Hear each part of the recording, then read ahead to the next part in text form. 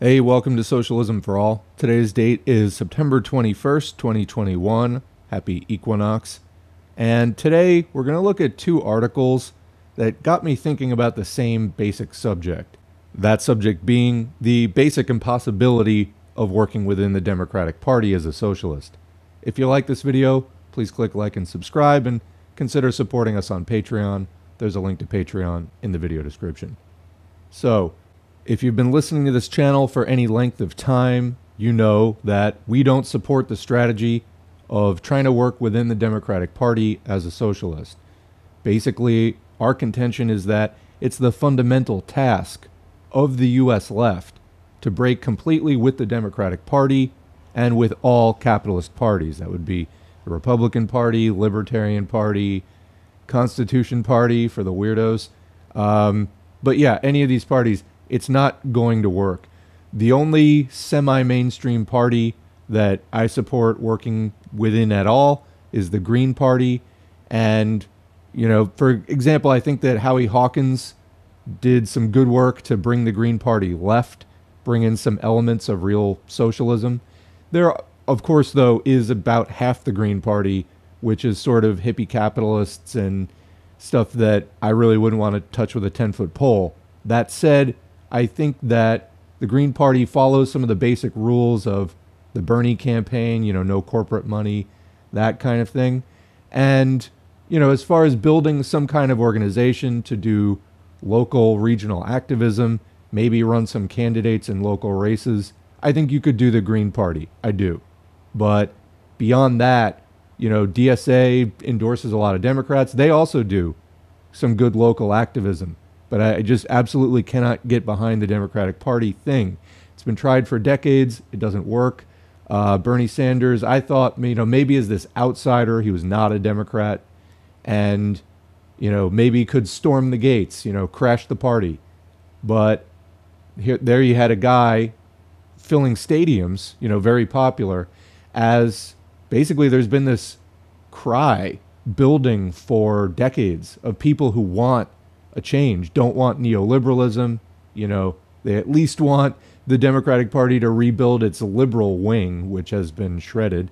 Of course, you know, here on this channel, we're Marxists. We're aiming a little bit higher than that, or a lot. Um, but yeah, even Bernie Sanders, popular guy, could have taken that momentum, channeled it into the Green Party or a new left party, and just didn't. And you know, maybe it's better that he didn't if I mean, if this is his basic impetus is to feed people into the Democratic Party, what he might have done was, you know, to set up a sham party that would have appeared to have been independent, but really would have been sort of an auxiliary support org for the Democratic Party as kind of, you know, our revolution or even DSA to some extent is.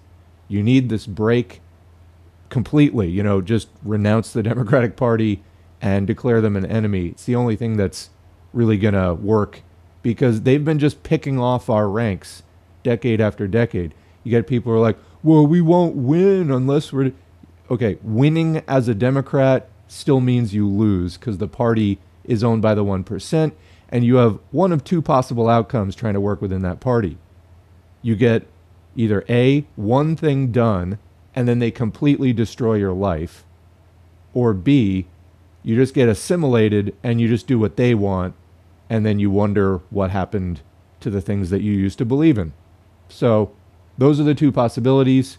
We reject them both, and we reject the Democratic Party, which creates them. So, anyway, I mentioned mainstream parties. There are, of course, Marxist parties. There's PSL, for example. There's other organizations like the Socialist Rifle Organization check out what's going on in your area. There's probably also unaffiliated, you know, non-national groups, a local mutual aid network, solidarity network, something. Get involved. You know, I do think that people should always try to join an org, get involved in a couple of projects in real life. It's going to help to sharpen your class consciousness, and it's also going to do some good for the place where you're living at. Okay, so let's get into these articles, which I mentioned about five minutes ago. All right, so the first article is from the Washington Post last week, and it's titled The Non Trump GOP Erodes a Little Further. It's by Philip Bump.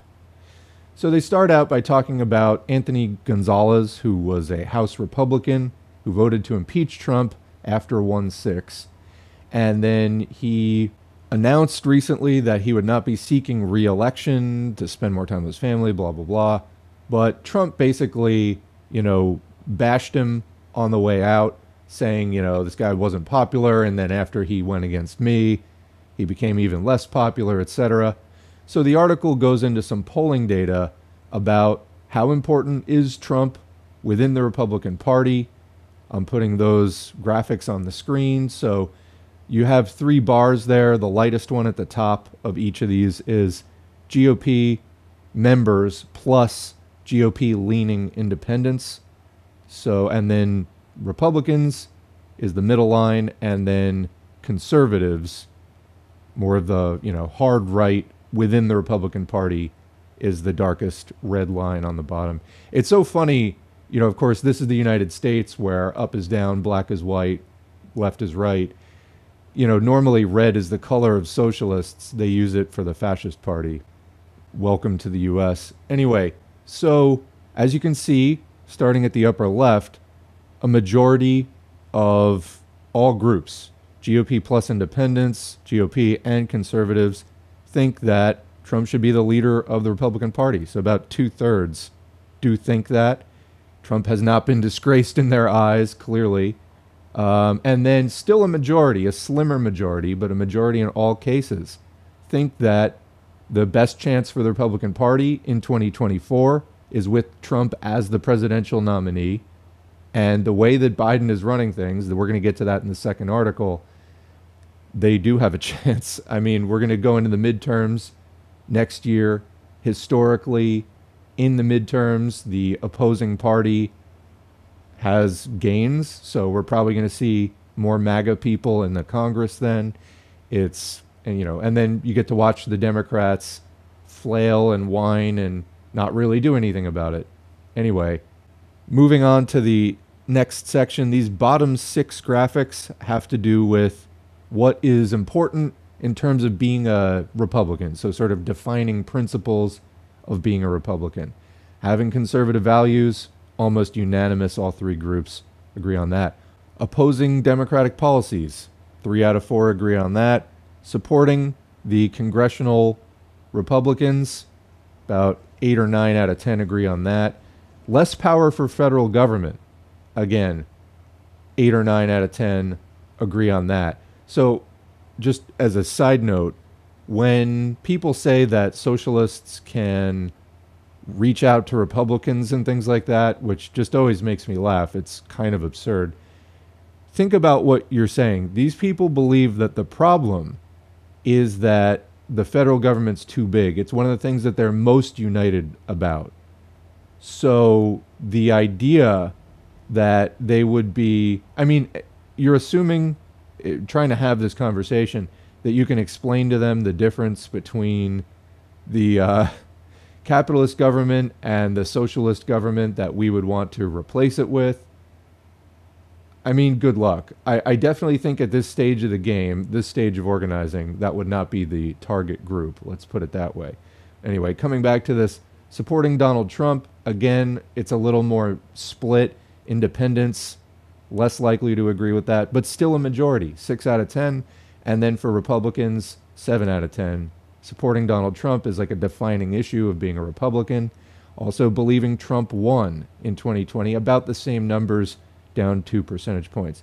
So this is what's going on in the Republican brain, more or less. But quoting from the article a little bit lower down, it says, quote, there's been a lot of polling since January trying to gauge how solid is Trump's grip on the party. It's likely an existential question for the GOP, if not American democracy itself. So, okay, let's take those two points separately. Is having Trump as the central Republican figure an existential question for the GOP? I would say no, although they didn't elaborate on why they think that is. So he's popular. he was president. Uh, he got beaten by Biden in the middle of a pandemic. You know, it's likely people just wanted a change. Will he be back in 2024? He's still popular, and Biden is basically George W. Bush. I mean, Biden is running the pandemic response so badly, telling people to take their masks off, um, cutting off the unemployment. I mean, there's just really no plan at this point. Um, Biden is not really doing anything to cement his position in the government or, you know, really do anything for the Democrats. The Democrats so far have fallen through on every promise that they made, whether it was $15 minimum wage or really anything. I mean, Biden, for example, we know that he was not in favor of Medicare for all, but he was running on a public option thing, uh, at least in writing. He put it on his website that he was for a public option. I mean, he never said that out loud, so uh, obviously I didn't believe that he was going to fight for that. But technically, that was his platform. I mean, of course, we haven't heard a word about it. We're in a pandemic. They're just pumping cash into the economy. That's not going to hold forever. Um, I mean, there is the real likelihood of a severe crash in the not too distant future, like in the next couple of years. Um, I mean, I'm not looking forward to that, but it's just reality is what it is. You've got, for example, air travel was down by almost two thirds recently. People just aren't going out and doing all of the same things that they were, and rightly so. It's not safe. You know, uh, I like going to concerts, for example, but the idea that I'm going to go into an enclosed space with, you know, recycled air with a bunch of people who aren't wearing masks, no, I'm just not going to do it. You know, for me, even going to outdoor events, where people aren't wearing masks and there's a crowd of people. It's like I don't really want to do it because it's just not safe unless there's just a strong wind the entire day. I mean, uh, you're going to be breathing in other people's air, and you know, with Delta, is that a risk you want to take? Anyway, not to get too sidetracked on that, but Biden is fucking up badly. I mean, we've gone past the first hundred days Bernie Sanders had this whole plan to hold Biden's feet to the fire. That has amounted in absolutely nothing. Um, so, yeah, could Trump come back? Definitely. But so this article goes on. Well, and then so the whole thing about American democracy itself. Come on. I mean, first of all, from a socialist perspective, the U.S. is capitalist. It has a government which is entirely oriented around maintaining capitalism and managing capitalism. And it's basically a government predicated on the notion that rich people who own industry in a private capacity should rule the country. That's the basic gist of the US ruling ideology. So, is that democratic? Absolutely not. Because while you have the cho- you know certain amount of choice or illusion of choice in the political system, you know, as far as industry, workplaces, the shop floor, uh, people have basically no say. I mean, the average working person has no say in what gets produced, what are the raw materials used, where does the waste get handled, etc. I mean, major questions of industry and economy, which you know are outside the purview of politics per se and government. Those are in the hands of private capitalists who are a tiny percentage of uh, the population. People say things like, oh, vote with your dollars. Well, some of us have way more dollars than others, so that's not democratic at all. Democracy is one person, one vote. Capitalism is one dollar, one vote, and dollars are not distributed equally at all. Like a tiny percentage of people control the vast majority of the stock market, for example. So, not a democracy. But even within the framing of, you know, capitalist bourgeois democracy, the U.S. government. Is Trump and the Republican Party, are they going to be the end of that? Well, I would actually rephrase that a little bit. Is Trump in particular going to be the end of that? Well, prior to Trump, so this is well before Trump, we had something called the Princeton Study on Democracy. You can look that up. Just Princeton Study Democracy. Type it in. You can read the thing. What they found is that there is no statistical correlation between public opinion and public policy. However, there is a strong correlation between capitalist opinion and public policy, meaning the people who actually own the political parties and donate to their campaigns, their opinions are reflected in public policy. But the average voter, the average working person who votes, their opinions are totally disregarded. The entire working class base of both the Democrats and Republicans could be completely united on an issue. Like, for example, Medicare for All, 70% approval, 70% support from the average working person in the US. And like Bernie Sanders is basically the only longtime politician who really supports that. What does that tell you?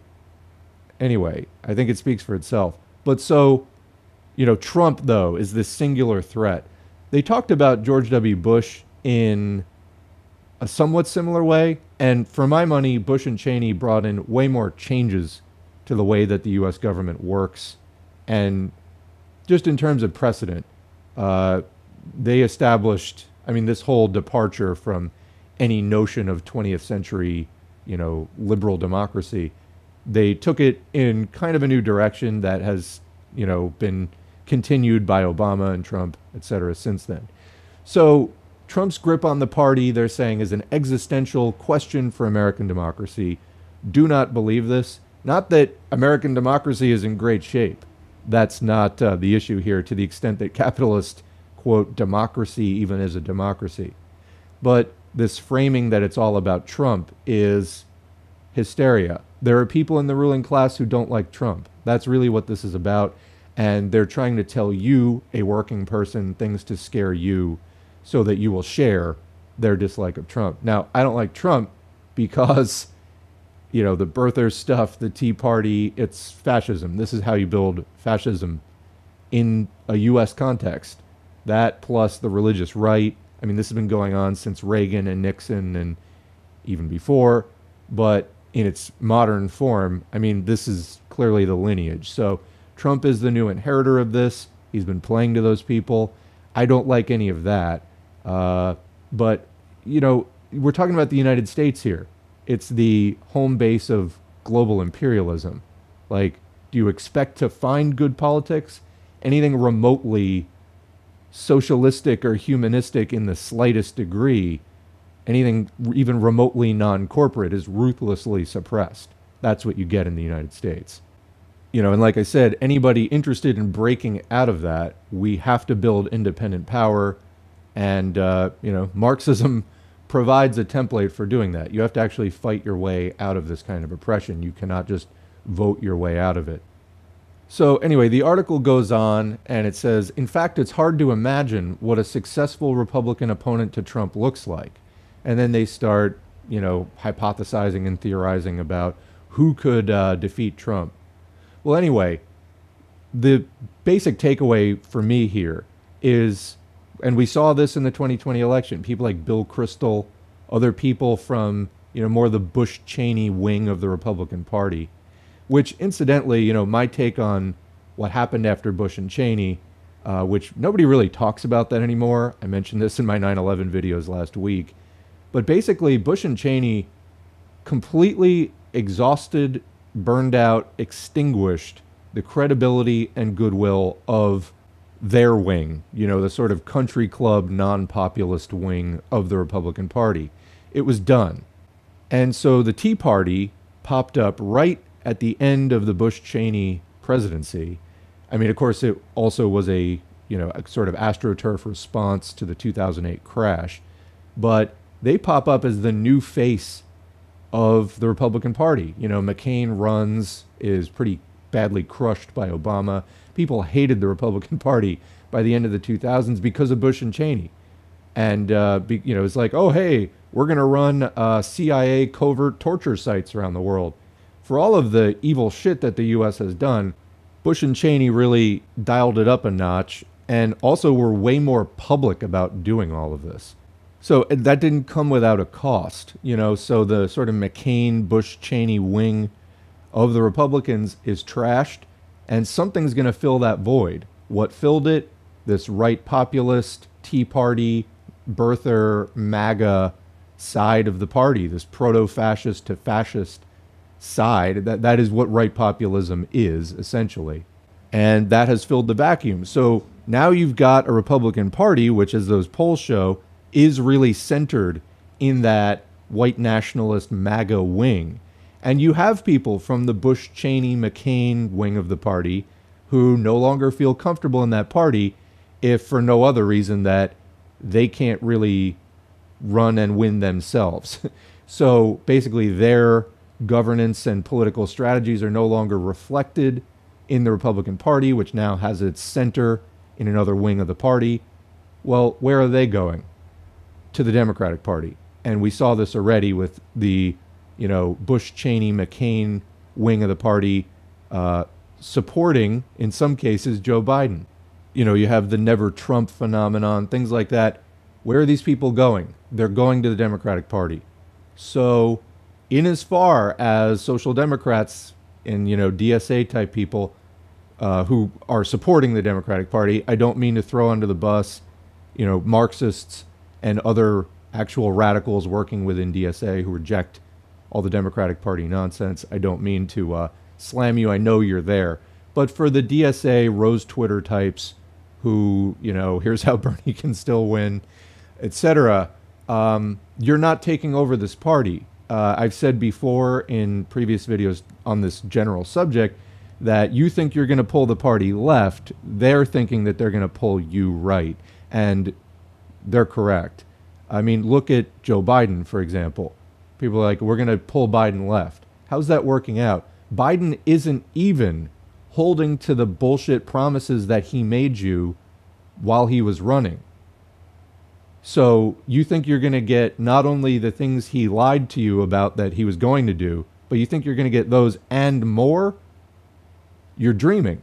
Wake up and look at the screen. You've lost. I mean, you know, the the game is technically not yet over, but forget it. You know, it's Biden 100, you 3. Like, forget it. It's not going to work, okay? So, you think you're going to pull this party left. Meanwhile, you've got powerful, influential ex Republicans also working with the Biden Democrats and they're just stronger than you are. You know, when you're trying to play in this game of bourgeois politics, it's their game.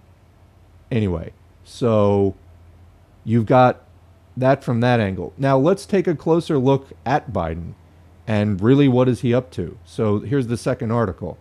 This is from the New York Times again last week. Biden announces defense deal with Australia in a bid to counter China. It's by David E. Sanger and Zolan Kano-Youngs.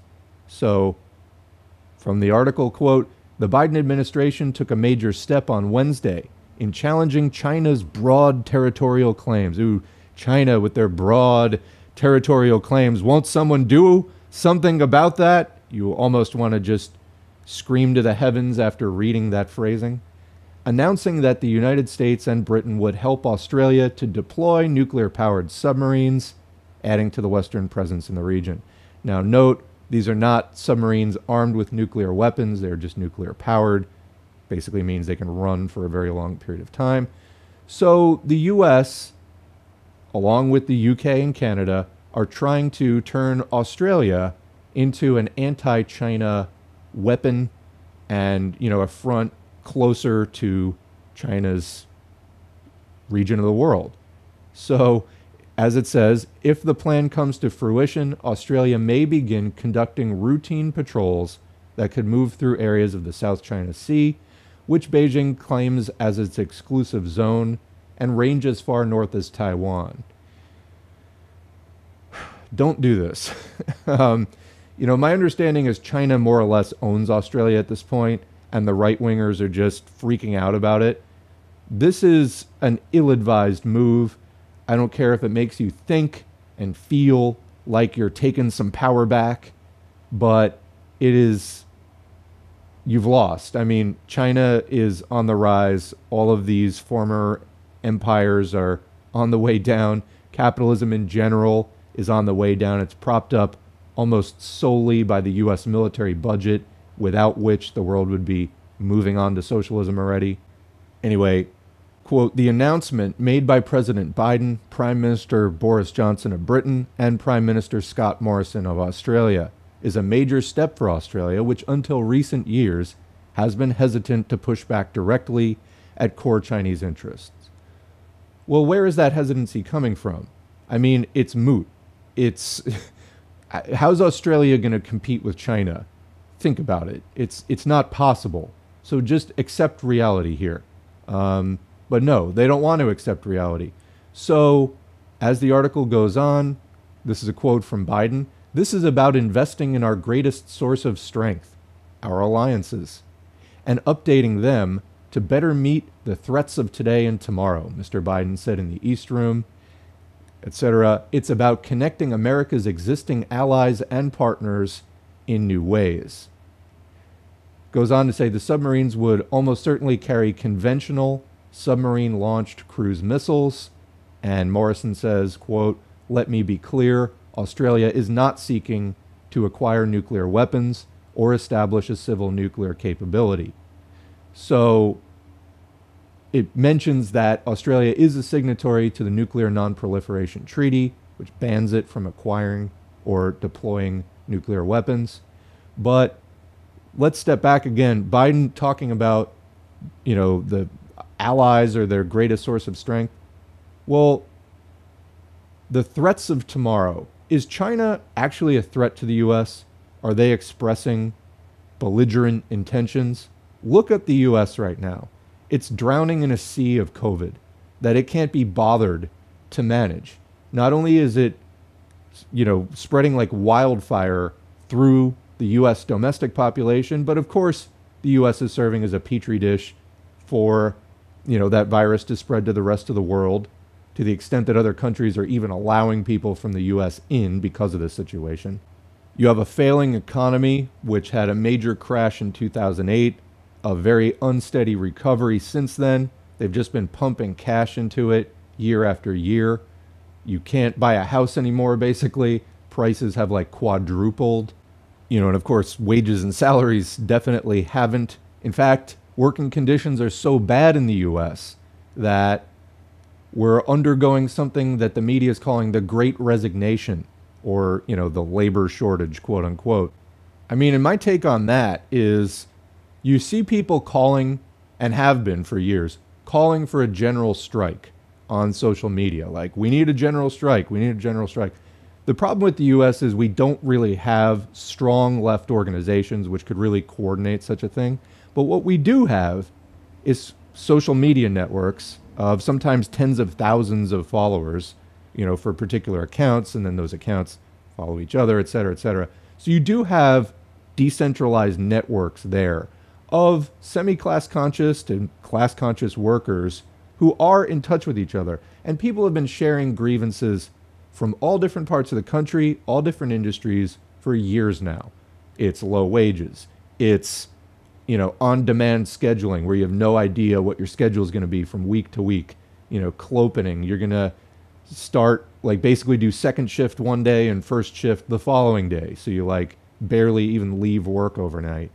It's no benefits. It's abusive management. It's all these things and people have been talking about it for so long, albeit, you know, not so much through orgs, but in this, you know, decentralized social media network I think people finally, you know, adding the pandemic, you know, fears of getting COVID or, you know, somebody's brother died of COVID or somebody's, you know, mother or so on.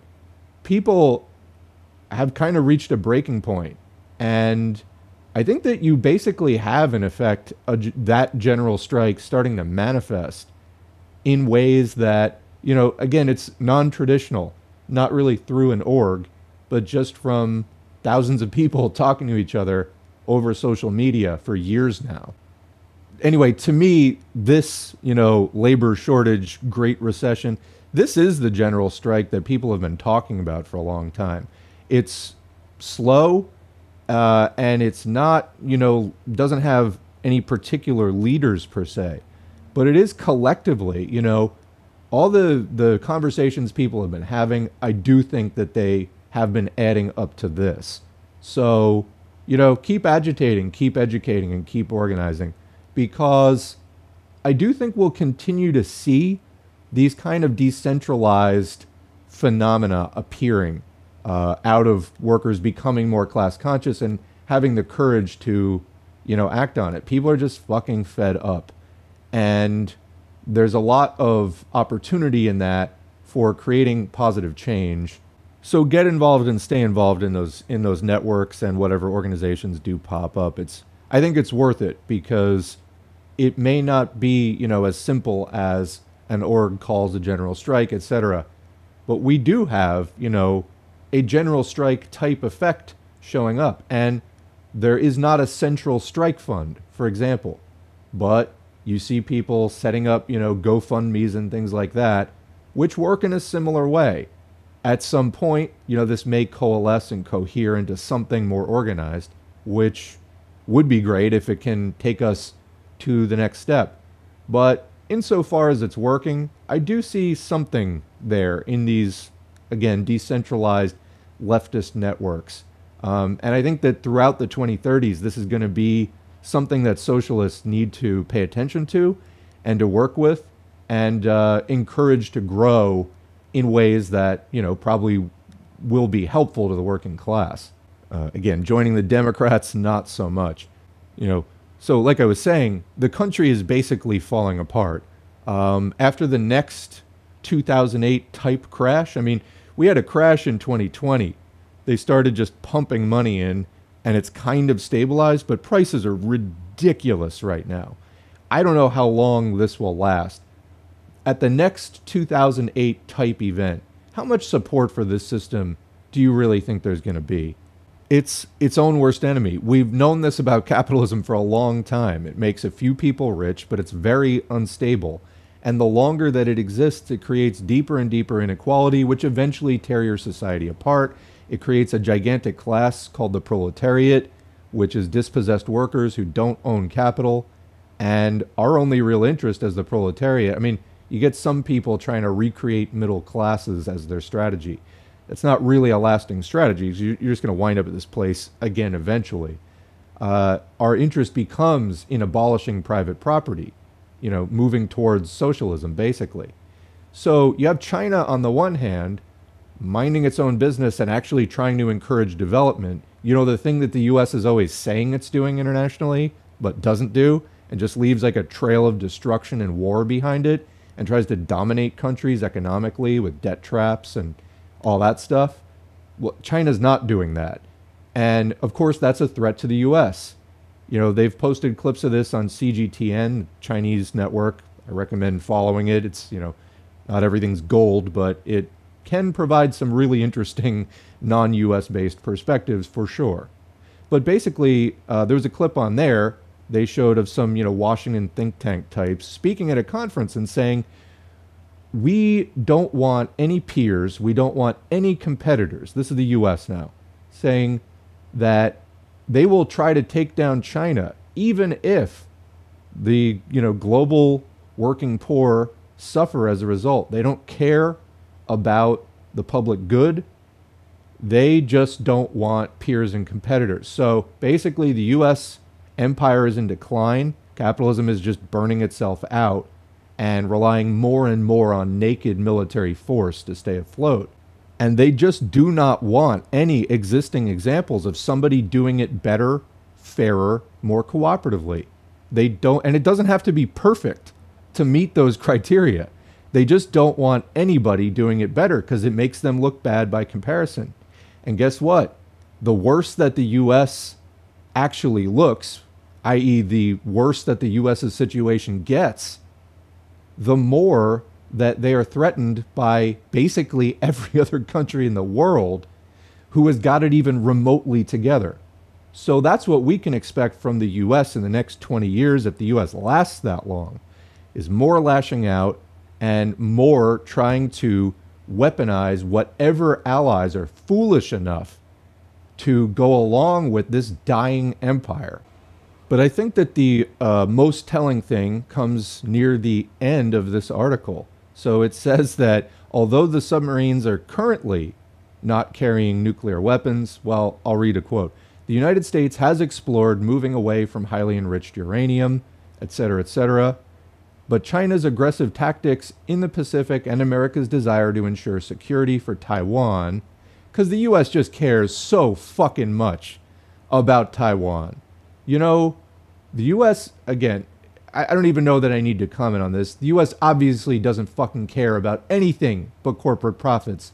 They want to get their hands on more resources and more cheap or free labor. That's all the US cares about. Period. This human rights, I don't know how people even buy into that for a microsecond. I, it, it requires being completely ignorant of US history. Completely. But I guess, you know, thank you, US education system, because that is what it produces in, in many cases. Anyway, required the US to empower Australia, even if it meant carving an exception to the effort to reduce the use of weapons grade nuclear fuel, according to Elbridge Colby, former Deputy Assistant Secretary of Defense, Strategy and Force Development. Quote, if non proliferation has to take a back seat, in order to stop China, that's the right call, said Mr. Colby. And again, you know, when I say stop China, I mean stop China from just being, you know, peacefully prosperous. that's that's what they're trying to stop. Again, they don't want any peers showing them up. That's literally it. So, here you have people talking about we're going to give Australia you know, powerful submarines to start trying to hem in and threaten China. That is only going to escalate the risk of military conflict. And who is driving it? The US, UK, Canada, Australia. That's who. So, this is what you're trying to take over, Social Democrats. Do you think you can do that? You think you can take over this organization, the Democratic Party, which is sharing Republican talking points like, you know, oh yeah, we may need to uh, have exceptions to you know nuclear disarmament you know and they'll just justify it because china and then they'll feed you on rose twitter some cia state department bullshit that you'll parrot uncritically. I mean people really need to get better about that. I know like you're in this because you want health care or whatever. Um, there's a lot of republicans who want health care too. The distinction of you're on the quote left you got to like do a little bit better than you want health care. You've got to actually look into the history of imperialism and get a lot better about not believing the bullshit that the United States military is spoon feeding you. We just simply don't have time for this garbage anymore. Okay, you need to catch yourselves up. Fortunately, there are channels like Socialism for All. We do audiobooks all day, every day. And the sole purpose is to educate and agitate you in the correct direction. This is why theory is important, so you don't wind up parroting US State Department talking points and supporting the very empire that is denying you all the things that you want, let alone all the other people around the world who have even less and want more things because the military is in there paving the way for that country to be oppressed and to have all their surplus value skimmed off and sent up here to this country where you benefit directly or indirectly from that. So, time to widen the picture with an internationalist, socialist outlook. That is your task. The materials are there. You just need to access them. Okay? I've even read them to you, and I've even helped you with little notes here and there to break them down and digest them and understand them. It's now on you. You've got to you know, I can spark you. You've got to do the work though and build the movements because ultimately that's what needs to happen to take power. So, anyway, coming off of the Biden article, there is a third piece to this. Looking at that hypocrisy around the nuclear nonproliferation, it reminded me, I was like, wait a minute, wasn't there some hubbub a few years ago because Trump was pulling the US out of treaties like this? And indeed, here's an article. Here are all the treaties and agreements Trump has abandoned. This is from 2019. And it's from CNN, and it goes on President Donald Trump's decision to begin the process of withdrawing the United States from the Intermediate Range Nuclear Forces Treaty will end an arms control agreement with Russia that has been a centerpiece of European security since the Cold War. So, this was a problem when Trump did it, or at least it was framed as that. But really, you have Biden doing the same thing. So you see, there are people behind both parties. The capitalist class in general, they own both parties. There is a consensus here that they divide up the tasks, okay? There's a certain division of labor. The Republicans play bad cop. This is, you may be familiar with the ratchet effect, okay? The Republicans play bad cop. They do all the bad shit. They come in, they scream in your face, they rough you up, they throw you up against the wall, they, you know, knock your stuff on the floor. They try to scare the hell out of you and brutalize you. Then the Democrats come in and they play good cop. They try to calm you down, they give you a glass of water, they ask you if you want a candy bar. But both of them are there for the same purpose. And I mentioned the ratchet effect. This is where the Republicans take things to the right and then the Democrats come in to block movement to the left. They basically keep what the Republicans have done, help to cement it. Then the Republicans get back in. They move it another notch to the right. And then the Democrats come in afterwards and they prevent things from going back to the left. So all you get is this click, click, click over to the right. And the Democrats are there as a doorstop to prevent any reverse motion back to the left. And this has been going on for a long time the idea, I mean, and this is well coordinated. They've been strategizing about this for decades. The idea that you're going to step into the Democratic Party and it's going to somehow be different this time.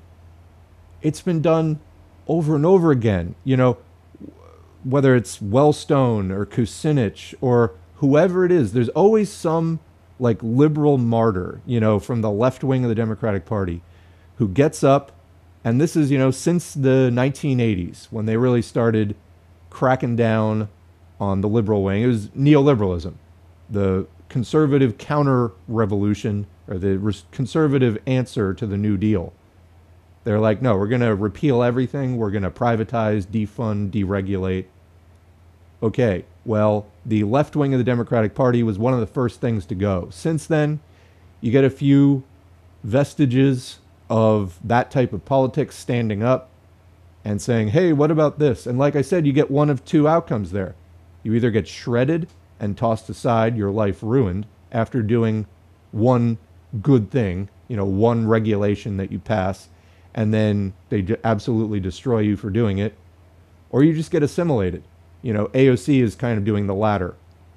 You know, she still tweets a good game here and there, although for my money, her tweets are increasingly just incomprehensible collections of buzzwords that just don't even make any sense at all.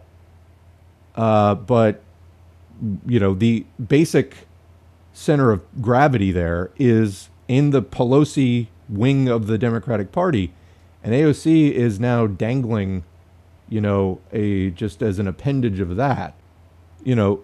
But Bernie Sanders, he's more of that previous type that I mentioned. The, you know, Wellstone or Kucinich that stands up and says, we're going to bring this party back to its, you know, more left liberal New Deal roots.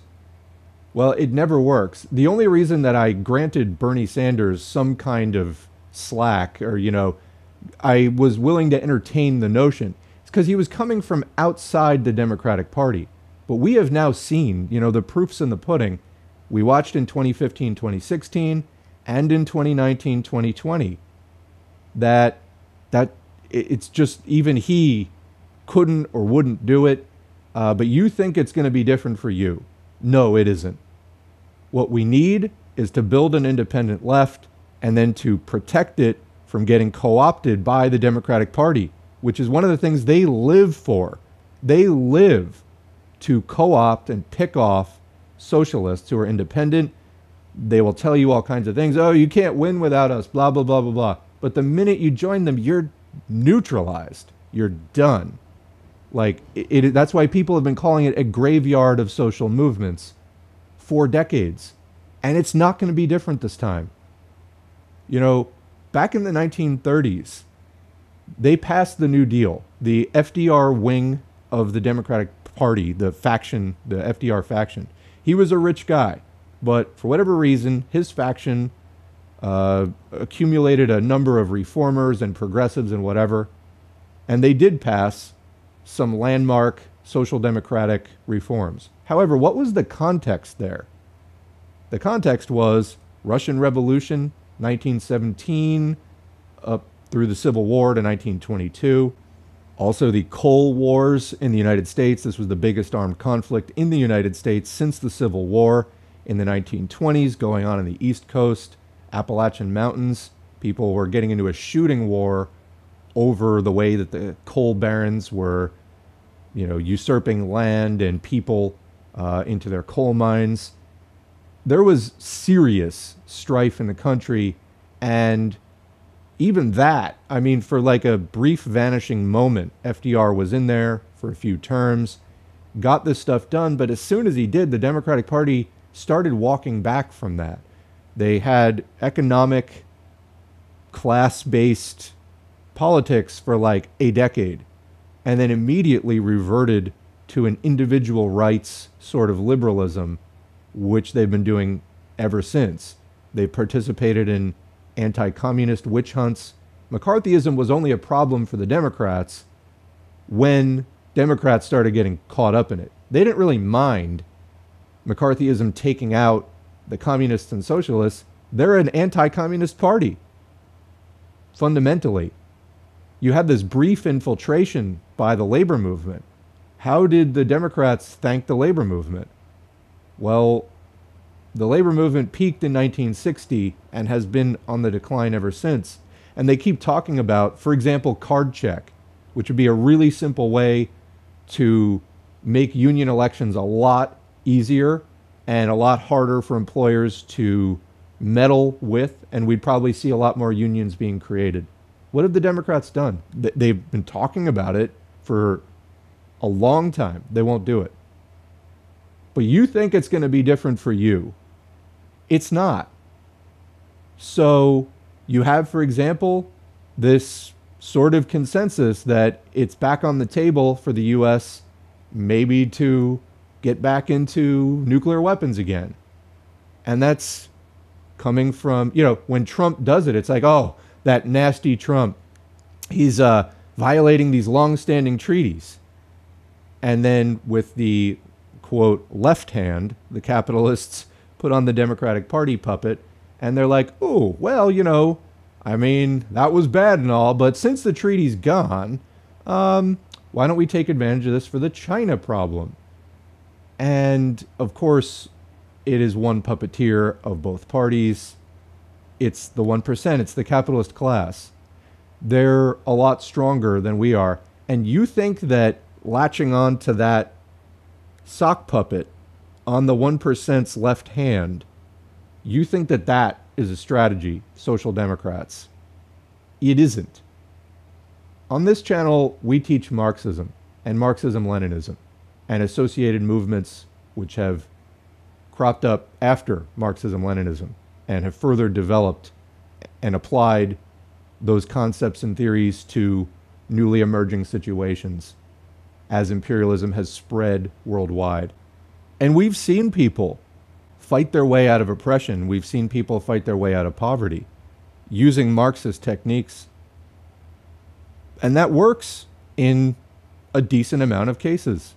What doesn't work is trying to get into a bourgeois party and begging and pleading with them to move left for a month before they just grab you by the hair and drag you right. So it's time to give it up. You've got in the Democrats a party which is pretty committed to right wing policies, and in the Republican Party, you have a party which is now centered in the white nationalist MAGA wing. And these are the two main tools that the capitalist class are using in their political arena that they use to manage their system, capitalism. It's not your system, social democrats, it's theirs. Working people, this isn't a system for us. If you want a system for us, you have to get rid of the existing system and then you have to institute a new system. I have pinned on my Twitter for Socialism for All and pinned on the YouTube channel, Lenin's The State and Revolution. If you want to actually learn this, I would suggest starting there. There are other things that can teach you, you know, more of the basics of Marxism and the economic theories, but I find that The State and Revolution answers probably, it, it just goes to the heart of the questions that people have about Marxist theory of revolution and initiating socialism, kicking out the capitalists and starting the process of building socialism and how to do that. Again, this has worked. What hasn't worked is this thing you're trying to do. The Democratic Party is our enemy. It's literally set up as a catch basin for left movements. It exists to co opt and pick us off. It's been doing that very effectively. And then you never hear from those people again. Do you want to end up like that? If you don't, accept reality. You've got to go further left than maybe you're comfortable with right now. But it has to be done. And I'm going to leave you with that thought for right now. Do check out State and Revolution. Start there.